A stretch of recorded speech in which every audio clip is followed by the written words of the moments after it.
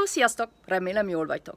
Ma két szavat fogunk tanulni. Az első az lenne, hogy kud, az a könyök. Kud, kud, könyök.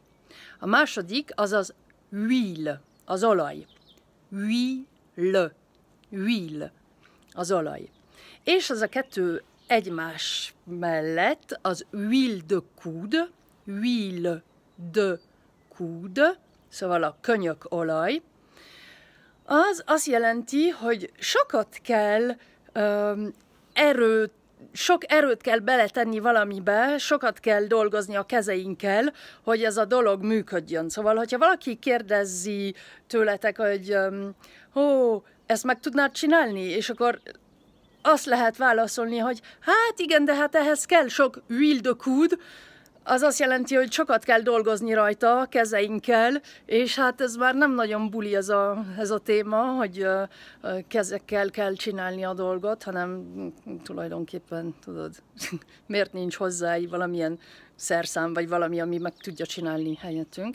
Szóval ez az Wilde Code, ezt elég rendszeresen szoktuk használni franciául, hogy ah, oui, hát igen, il faut beaucoup d'huile de coude pour faire ça.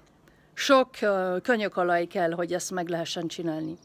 Il faut, kell, beaucoup, sok, beaucoup, d'huile de coude, sok könyökolaj, pour faire ça. Szóval ezt megcsinálni. Ah oui, il faut beaucoup d'huile de coude pour faire ça. Uh-huh. Sok könyökolaj kell ezt megcsinálni. Szóval ez egy kicsit bonyolult lecke volt, de mostanában, ahogy látjátok, nem nagyon vagyok otthon, és hát um, nincs túl sok időm ilyen videókat csinálni, szóval bocs, hogy ez nem lett jobb, de most csak ez jött így hirtelen, hogy uh, ez egy olyan um, dolog, amit sokat használunk franciául, l'huile de coude, mondjuk nem úgy, hogy minden nap, de azért lehet hallani, és legalább most tudjátok, hogy ez mit jelent. Remélem, hogy jól vagytok, és legközelebb is lesz másik lecke. Ciao, sziasztok!